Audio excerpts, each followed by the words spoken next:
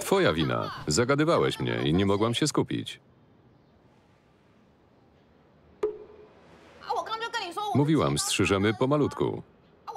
Powtórzyłam trzy razy. Nie przyjmujemy płatności kartą. Nie drukujemy paragonów. I żadnych złych recenzji.